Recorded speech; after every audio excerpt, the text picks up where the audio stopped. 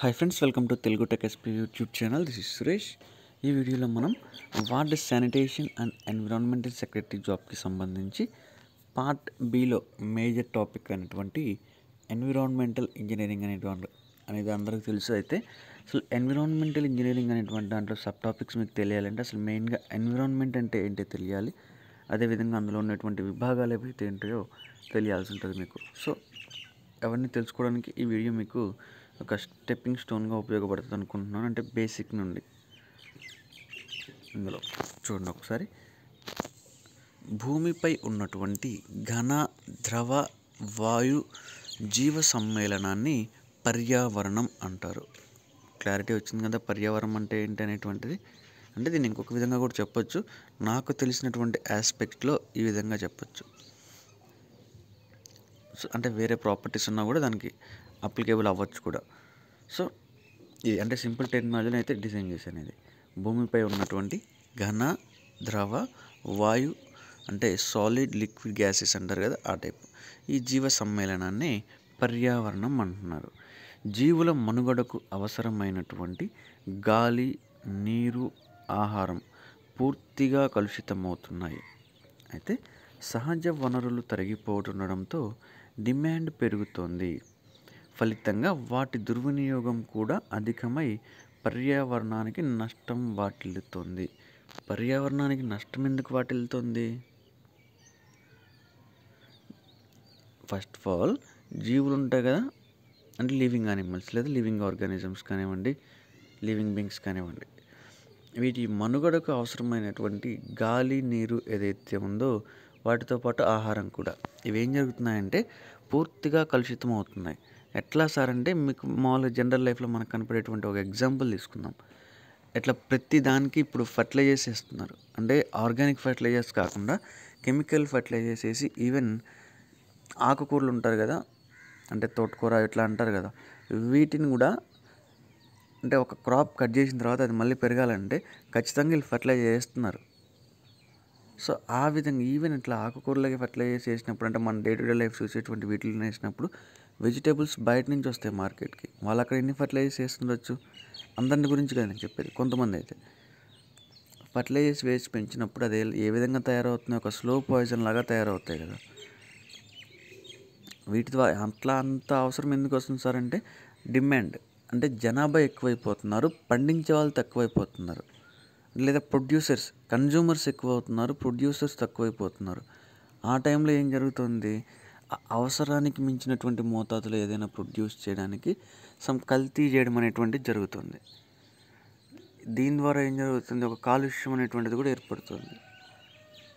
ఇప్పుడు ఫుడ్ కానివ్వండి ఇంకోటి ఇంకోటి ఇంకోటి కానివ్వండి ఏదైనా కానివ్వండి ఇట్లా ఎందుకు ఇలా కల్తీ జరుగుతుంది అంటే కన్జ్యూమ్ అయ్యేవాడు ఎక్కువైనప్పుడే ప్రొడ్యూస్ చేసేవాడు ఈ విధంగా ఆలోచించడానికి ట్రై చేస్తారు ఎక్కువ ఎవరైనా కూడా. ఒక నార్మల్ లాజికల్గా థింక్ చేయండి అర్థమవుతుంది. ఇది లాజికల్ పాయింట్ కూడా కూడా మీకు వస్తుంది. ఈ విధంగా థింక్ చేసి మీరు ఏంటంటే రీజనింగ్లో కూడా మీకు పట్టు సాధించగలుగుతారు. అంటే రీజనింగ్లో ఏంటి మీరు ఎక్కడి నుంచో బయట నుంచి తీసుకొచ్చి అడిగే సమస్య ఉండవు. మ్యాక్సిమం మీ బ్రెయిన్ యూజ్ చేసి అనలైజ్ చేసి చేయొచ్చు. సో అది విషయం. నెక్స్ట్ ఫలి సహజ వనరులు అయితే తరిగిపోతున్నాయి. దీంతో పాటు సహజ వనరులు తరిగిపోయినప్పుడు ఏం జరుగుతుందంటే దాటికి తగ్గ డిమాండ్ అనేటువంటిది పెరిగిపోతుంది. ఫలితంగా వాటి దుర్వినియోగం కూడా అధికమై పర్యావరణానికి నష్టమవుతుంది. పేద అభివృద్ధి చెందుతున్నటువంటి దేశాల్లోని గ్రామీణ ప్రాంతాల ఆర్థిక స్థితిగతులపై పర్యావరణ నష్ట ప్రభావం తీవ్రంగా ఉంది. పంట చెరకు లభ్యత వంట పంట. వంట చెరుకు లభ్యత పశుగ్రాసం భూగర్భ ఉపరితల వనరులు ఇవన్నీ తగ్గి గ్రామీణ ఆర్థిక వ్యవస్థ చిన్నాభిన్నం అవుతోంది. ఒక ప్రాంతం లేదా ఒక ప్రాంత సుస్థిరాభివృద్ధి అంటే సస్టైనబుల్ డెవలప్మెంట్ అంటారు సుస్థిరాభివృద్ధి అంటే. ఒక ప్రాంత సుస్థిరాభివృద్ధి పర్యావరణ పరిరక్షణ పైన ఆధారపడి ఉంటుంది. ఇది ఒకసారి గుర్తుపెట్టుకోండి. ఒక ప్రాంత సుస్థిర అభివృద్ధి దేనిపైన ఆధారపడి ఉంటుంది? పర్యావరణం పైన ఆధారపడి ఉంటుంది. పర్యావరణ విభాగాలు అనేటువంటి ఒకసారి చూద్దాం. ఎన్విరాన్మెంటల్ డిపార్ట్మెంట్స్ పర్యావరణాన్ని నాలుగు విభాగాలుగా నాలుగు విభాగాలుగా లేదా నాలుగు భాగాలుగా విభజించవచ్చు. అవి ఏంటి అనేటువంటిది ఒకసారి చూడండి.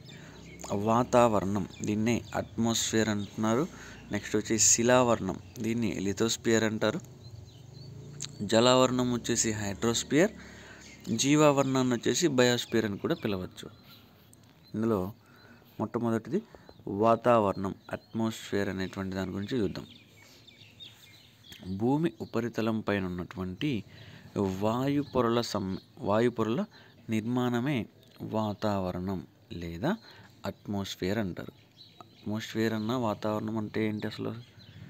భూమి ఉపరితలం ఏదైతే ఉంటుందో దీనిపైన ఉన్నటువంటి వాయు పొరలు ఉంటాయి కదా వీటి నిర్మాణాన్నే వాతావరణం అని అంటున్నారు. అంటే దీనికి వేరే మీనింగ్స్ వేరే ఆస్పెక్ట్స్ ఉండొచ్చు. సో ఇది ఈజీ టెక్నాలజీ ఉంటుందని చెప్పేసి ఈ ఆస్పెక్ట్ అయితే నీకు అర్థమయ్యేలాగా చెప్తున్నాను నేను. గురుత్వాకర్షణ శక్తి వల్ల ఇది భూమిపై ఉంటుంది. ఇది భూమిపై ఏ శక్తి వల్ల ఉంటుంది? గురుత్వాకర్షణ శక్తి వల్ల ఇది భూమిపైన ఉంటుంది. అయితే ఇందులో ట్రోపోస్పియర్ స్ట్రాటోస్పియర్ మీసోస్పియర్ థర్మోస్పియర్ అనేటువంటి నాలుగు విభాగాలు ఉన్నాయి. వాతావరణంలో మొత్తం అంటే అట్మాస్ఫియర్లో ఎన్ని విభాగాలు ఉన్నాయి నాలుగు విభాగాలు ఉన్నాయి అవి ఏమేంటివి? Troposphere stratosphere mesosphere and thermosphere రెండు పొరల మధ్య హద్దుగా ఉండేటువంటి ప్రాంతాన్ని పాజ్ అంటారు. రెండు ఇది చూడండి ఒకసారి బిట్ వస్తుంది. రెండు ప్రాంతాల సారీ రెండు పొరల మధ్య హద్దుగా ఉండేటువంటి ఒక ప్రాంతాన్ని ఏమంటారు? ఏమంటారు? పాజ్ అంటారు. ఉదాహరణకు ఎగ్జాంపుల్ తీసుకున్నట్లయితే స్ట్రాటోస్పియర్ మీసోస్పియర్ మధ్యన ఉన్నటువంటి ప్రాంతాన్ని స్ట్రాటోపాజ్ అంటారు. ఈ రెండు పాయింట్లు బాగా గుర్తుపెట్టుకోండి మీరు లేదా రాసుకోవడానికి ట్రై చేయండి. రెండు పొరల హద్దు రెండు పొరలు ఏవైతే ఉంటాయో ఆ రెండు పొరల మధ్యలో హద్దుగా ఉండేటువంటి ఒక ప్రాంతం ఉంటుంది కదా ఆ ప్రాంతాన్ని పాజ్ అంటారు. అయితే స్ట్రాటోస్పియర్ మీసోస్పియర్ మధ్య ఒక ప్రాంతం ఉంటుంది కదా ఇట్లాంటి హద్దు ప్రాంతం అనేటువంటిది. ఆ హద్దు ప్రాంతాన్ని ఏమంటున్నారంటే స్ట్రాటోపాజ్ అంటున్నారు. Next troposphere. ఇది భూమి ఉపరితలానికి దగ్గరగా ఉన్నటువంటి వాతావరణ పొర స్ట్రాటోస్పియర్ అనేటువంటి సారీ ట్రోపోస్పియర్ అనేటువంటిది భూమి ఉపరితలానికి దగ్గరగా ఉన్నటువంటి వాతావరణ పొర. భూమి ఉపరితల ఉపరితలానికి దగ్గరగా ఉన్నటువంటి వాతావరణ పొరని గుర్తించండి అంటారు. సో నాలుగు ఇస్తారు మీరైతే ట్రాపోస్పియర్ అనేటువంటిది అయితే గుర్తించడానికి ట్రై చేయండి. మీకు ఇంకా వేరేది ఏదైనా తెలుసుంటే ఒకసారి అదైనా ఆన్సర్ పెట్టుకోవచ్చు. ఈ పొర ధ్రువాల వద్ద ఆరు నుండి ఎనిమిది కిలోమీటర్ల ఎత్తు వరకు భూమధ్య రేఖ వద్ద పద్దెనిమిది కిలోమీటర్ల ఎత్తు వరకు విస్తరించి ఉంటుంది. పైకి వెళ్ళే కొద్దీ ప్రతి కిలోమీటర్కు ఉష్ణోగ్రత ఆరు డిగ్రీల చొప్పున తగ్గుతుంది. పైకి వెళ్ళే కొద్దీ ఉష్ణోగ్రత ఎంత తగ్గుతుంది? ప్రతి కిలోమీటర్కి ఆరు డిగ్రీల చొప్పున పైకి వెళ్ళే కొద్దీ ఉష్ణోగ్రత అయితే తగ్గుతుందంట. సుమారు పన్నెండు కిలోమీటర్ల వద్ద ఎత్తు వద్ద ట్రోపోపాస్ అనేటువంటి పరివర్తన ప్రాంతం మొదలవుతుంది. ఎన్ని కిలోమీటర్ల ఎత్తు వద్ద ట్రోపోపాస్ అనేటువంటి పరివర్తన ప్రాంతం మొదలవుతుంది? ఎన్ని కిలోమీటర్లు? పన్నెండు కిలోమీటర్లు. ఈ ప్రాంతంలో ఉష్ణోగ్రతలు భారీగా తగ్గుతాయి. ట్రోపోస్పియర్లో ఏ ప్రాంతంలో ఉష్ణోగ్రతలు భారీగా తగ్గుతాయి లేదా ట్రోపోస్పియర్లో ఉష్ణోగ్రతలు తగ్గేటువంటి ప్రాంతాన్ని గుర్తించండి లేదా ట్రోపోస్పియర్లో భారీగా ఉష్ణోగ్రతలు తగ్గేటువంటి ప్రాంతాన్ని గుర్తించండి అంటారు. ఎక్కడ? ట్రోపోపాస్ అనేటువంటి పరివర్తన ప్రాంతం కదా. నెక్స్ట్ స్ట్రాటోస్పియర్ అనేటువంటి దాని గురించి ఒకసారి చూద్దాం మనం ఇప్పుడు. వాతావరణంలోని రెండో పొర అయినటువంటి స్ట్రాటోస్పియర్ ట్రోపోపాజ్ నుండి మొదలై యాభై కిలోమీటర్ల ఎత్తు వరకు విస్తరించుంటుంది. చూడండి ఒకసారి. ట్రోపోపాజ్ నుంచి మొదలైనటువంటి స్ట్రాటోస్పియర్ ఎన్ని కిలోమీటర్లు ఇలా ఎన్ని ఎంత కిలోమీటర్ల సంఖ్యలో విస్తరించుంటుంది అన్నట్లయితే యాభై కిలోమీటర్ల ఎత్తు వరకు ఇది విస్తరించి ఉంటుంది అంటే యాభై కిలోమీటర్లు అంటే ఎవ్వరు అక్కడికి వెళ్ళి స్పీ ఇది మీటర్ పెట్టి కొలిచింది ఏం లేదు. అంటే అప్రాక్సిమేట్గా చెప్పడమే. కొంచెం అటు ఇటుగా ఉండొచ్చు. అందుకని చెప్పేసి సార్ ఫిఫ్టీయా అంటే మీకు ఎట్లా చేశారంటారు అది అప్రాక్సిమేట్గా ఒకటి అటు ఇటుగా. ఇంతవరకు విస్తరించి ఉంటుంది. ఇక్కడ ఉష్ణోగ్రత మైనస్ అరవై డిగ్రీలుగా ఉంటుంది. స్ట్రాటోస్పియర్లో ఇక్కడ మీకు వీడియోలో కొంచెం ప్యారెట్స్ చిలకల సౌండ్ అయితే కొంచెం డిస్టర్బెన్స్ ఉండొచ్చు. కానీ తప్పదు. అంటే నేను ఎర్లీ మార్నింగ్ అయితే వీడియో అయితే రికార్డ్ చేసేటప్పుడు అంటే కొన్ని ప్యారెట్స్ అయితే పెంచుతున్నాను. అవి డైలీ మార్నింగ్ వస్తాయి. మళ్ళీ వెళ్ళిపోతే మళ్ళీ నెక్స్ట్ డే మార్నింగ్ వస్తాయి. సో ఆ యొక్క ఎన్విరాన్మెంట్ ఎన్విరాన్మెంట్ అనేటువంటిది కొద్దిగా హ్యాపీగా ఉంటుంది. అందుకని చెప్పేసి ఈ ఎన్విరాన్మెంట్లో అయితే నేను మార్నింగ్ ఎక్కువ మ్యాక్సిమం మార్నింగ్ క్లాస్ అయితే చేయడానికి ట్రై చేస్తాను. జస్ట్ పెంచుకుంటే కొంచెం ఓపిక పట్టండి ఏం కాదు వెళ్ళిపోతాయి. ఇక నెక్స్ట్ ఉష్ణోగ్రత మైనస్ అరవై డిగ్రీలు ఉంటుంది. ట్రోపోస్పియర్లో ఉష్ణోగ్రత ఎంత ఉంటుంది? మైనస్ అరవై డిగ్రీలుగా ఇక్కడ ఉష్ణోగ్రత అనేటువంటిది ఉంటుంది. ఈ ప్రాంతంలో గంటకు మూడు వందల ఇరవై కిలోమీటర్ల వేగంతో గాలులు వీస్తాయి. ఈ ప్రాంతంలో గంటకు మూడు వందల ఇరవై కిలోమీటర్ల వేగంతో గాలులు వీస్తాయి. ఎక్కడ? స్ట్రాటోస్పియర్లో. ఎంత ఎంత వేగంతో గాలులు వీస్తాయి గంటకి? మూడు వందల కిలోమీటర్ల వేగంతో. అంటే దాదాపు జపాన్ వాళ్ళ బుల్లెట్ ట్రైన్ ఉంటుంది కదా అంత స్పీడ్ అన్నట్లు. స్ట్రాటోస్పియర్లో ఓజోన్ అధిక మోతాదులో ఉండటం వలన దీనిని ఓజోనోస్పియర్ అంటారు. దీన్ని ఓజోనోస్పియర్ అని ఎందుకు అంటారు? స్ట్రాటోస్పియర్ని అందులో ఓజోన్ అనేటువంటిది ఎక్కువగా ఉంటుందంట. సో దీనిని ఇంకొక విధంగా ఓజోనోస్పియర్ అని కూడా అనొచ్చు. ఇది కూడా గుర్తుపెట్టుకోవాలి మీరు. హానికర అతినీల లోహిత కిరణాలు నేరుగా భూమిని చేరకుండా ఈ పొర అడ్డుకుంటుంది.